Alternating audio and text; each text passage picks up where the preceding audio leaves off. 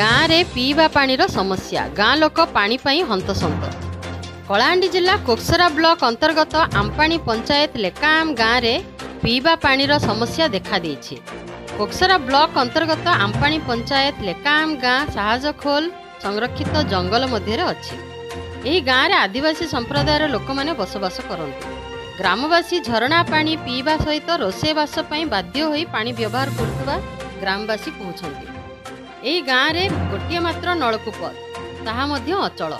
ନଳକୂପରୁ ବାହାରୁଥିବା ପାଣିରେ ଫ୍ଲୋରାଇଡ୍ ଥିଲେ ମଧ୍ୟ ପିଇବାକୁ ବାଧ୍ୟ ହେଉଛନ୍ତି ଗାଁ ଲୋକ ଯାହାକି ଗାଁ ଲୋକମାନଙ୍କ ସ୍ୱାସ୍ଥ୍ୟ ପ୍ରତି କ୍ଷତିକାରକ।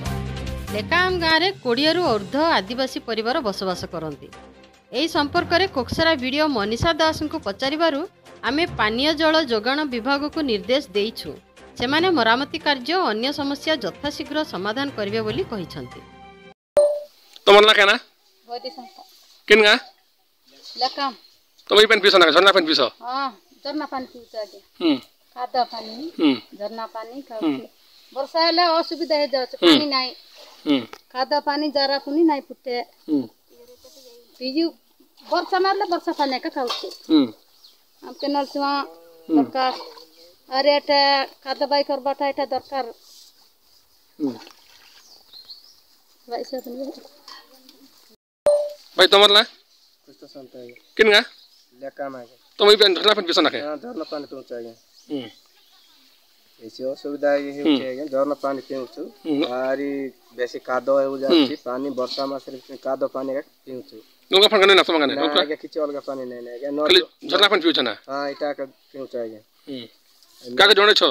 सरपंच जोड़े छ नोका खाली. सरपंच जोड़े छ. ए लोग जोड़े जोड़े केते ये बोल नहीं हम हम्म. क्या काना बोल छन सुमने সে মনে କରିଦେବାକୁ ବୋଲୁଛନ୍ତି ଆଜ୍ଞା কিছু নি করবার